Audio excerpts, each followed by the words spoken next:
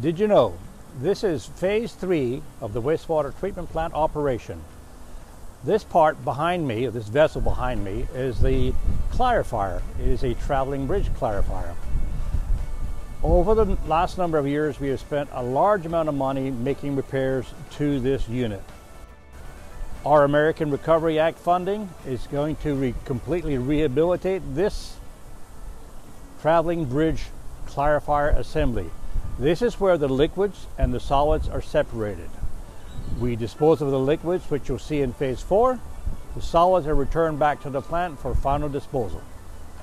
And now you know.